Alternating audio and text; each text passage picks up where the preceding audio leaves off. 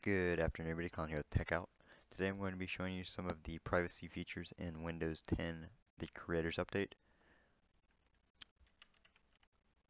We are running version 10.0.15.063. As of 4.10.2017 is the latest update for the Creators Update. It is out to the public, but it is not being installed on systems via Windows Update just quite yet. So if you click here, you're not going to see any, any updates yet. You will see a little option right here saying it's coming soon, and it'll say uh, be the first to get it. And you can click right there, and it's going to take you to a website. You're going to download the Windows 10 Upgrade Assistant, and it will download it here. Once it's ready to install, it'll tell you your computer is going to restart in 30 minutes. You can set it to a later time, or you can have it restart now and then it will restart and have the install process um, start.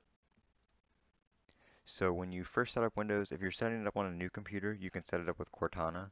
Um, I didn't have that option, but my most of my settings are already set because this was an upgrade. So I don't know if there's a little bit of a difference there, or if there's something I missed uh, enabling that, but you can set it up with your voice using Cortana. One of the main things in the Creators Update that they're changing um, and trying to bring out is your privacy. Um, Windows 10 has been getting a lot of hate for privacy concerns.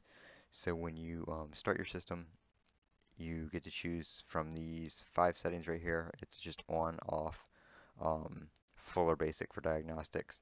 It does always send some form of diagnostics to Microsoft just because um, you know they have to see how your PC is running on, and how Windows 10 runs on each individual piece of hardware.